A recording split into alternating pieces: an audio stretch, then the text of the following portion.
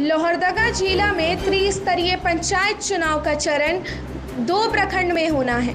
ज़िले के अतिन कसल पेशरार और किस्को प्रखंड में चुनाव होना है, जिसको लेकर लोहरदगा की डीडीसी गरिमा सिंह ने त्रिस्तरीय पंचायत चुनाव की तैयारी को लेकर मुख्यालय सभागार में मतदान कर्मियों के साथ बैठक की, जिसमें मुख्य रूप से त्रिस्तरीय पंचायत चुनाव शांतिपूर्वक ढंग से संपन्न कराने को लेकर विशेष चर्चा की गई।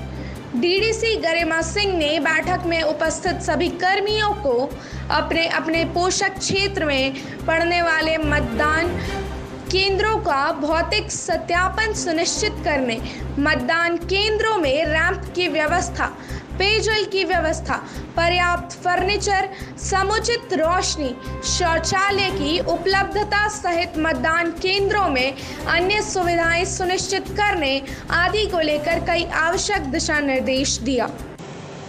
अभी पंचायत इलेक्शंस अनाउंस हो गए हैं झारखंड में। तो लोहरदगा में भी अब जो प्रथम आपका चरण है, वो चौदह मई को है।